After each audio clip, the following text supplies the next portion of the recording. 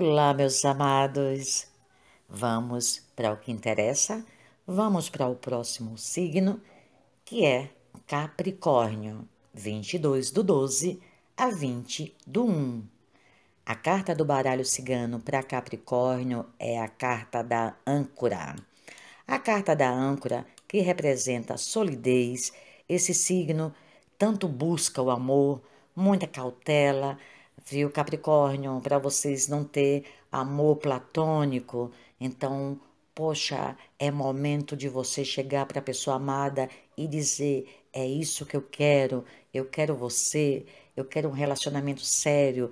Não fique só com pequenas indiretas. Não deixe que a pessoa, poxa, tem que adivinhar o que você está sentindo, Capricórnio. Seja prático e direto. Fale o que você sente para o relacionamento se afirmar.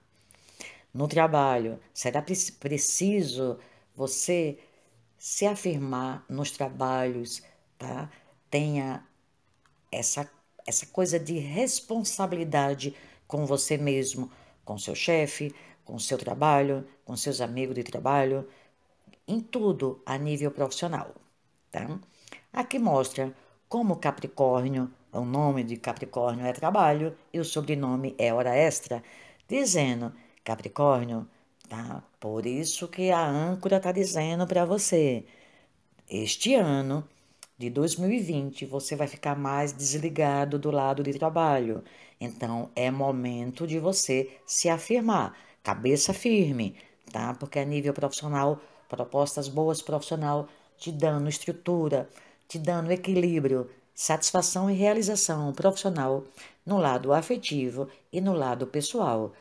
Então, Capricórnio, aproveite este momento da sua vida. 2020 para você é um ano para você de felicidade, satisfação e realização.